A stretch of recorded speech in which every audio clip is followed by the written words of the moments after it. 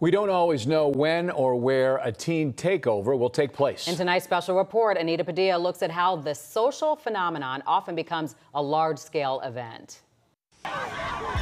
Whether it's 31st Street Beach, Michigan Avenue, or a festival in the suburbs, the location of the next Chicago area teen takeover can be a surprise. The question is, how do so many teens, all of whom don't even know each other, wind up going to the same place at the same time? Most teenagers at this point use social media. Primarily, they're using things like TikTok, Snapchat, Instagram.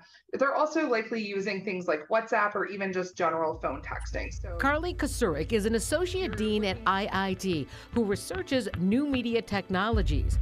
While a post about a teen takeover is shared with the original poster's followers and those followers' followers, she says one social media site has a special function to help spread the word even more.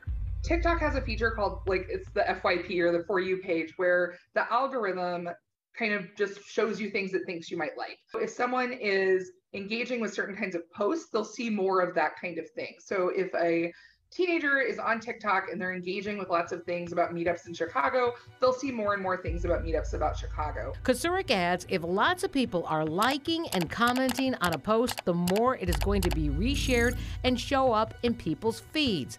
That's without taking into account any teen influencers who might share the original message as well. This is mob action, is what this is.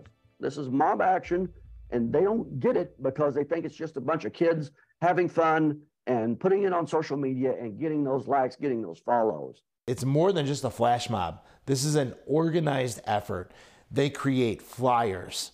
They send flyers on their social media. So if you have a uh, influencer who has 900 followers. That 900 and those 900 followers share it on their page. Now you have 900, 1,000, 10,000, 2,000, 3,000. That's why retired cyber crime detective and now cyber safety trainer Rich Wistocki says law enforcement agencies need to do a better job of getting information about these events off social media, a task that's easier said than done depending on what sites the teens are talking on you have all these people using these platforms knowing that the company will not share that information with law enforcement. While some sites do work with police when contacted, Wistocki says some chat rooms do not. They won't respond to search warrants and subpoenas. It's all encrypted, so uh, they claim that not even the people of their company can see the messages. No matter where teens are talking, what's the takeaway from the takeover? I think it's power and influence. I, I think you see a lot of them thinking that, you know, from the riots, how, how much power they had, and the police just sat by and watched. Kocurek sees it a different way. I personally would not be super concerned. I think the percent of people behaving badly, even in these large groups, tends to be quite low, right? So you'll see numbers of like 400 people were there, four were arrested, right? So that's 1%. Um, so most people participating, most of the young people participating aren't a problem. For the most part, Kocurek says teens are trying to socialize and meet kids from other parts of the city. And if they're doing it in a way that's not helpful or is not what we need as a city, then we should make sure that there's places for them to do that. I do hope we can use this as a moment to make sure that we're providing outlets for teenagers that we're providing places that they want to be activities that they want to participate in um, places that are welcoming to them. She says if the teens were gathering in protest we would know.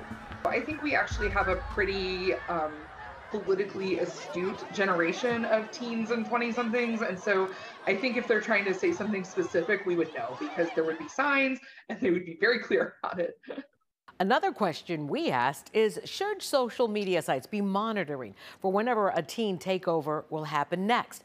Kocurek says it likely won't come to the attention of these platforms because there are other posts being pushed out to millions of people compared to a thousand or less. Anita Padilla, Fox 32 Chicago.